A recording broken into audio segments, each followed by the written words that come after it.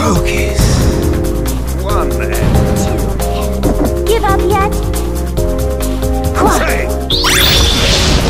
Arrogant fool!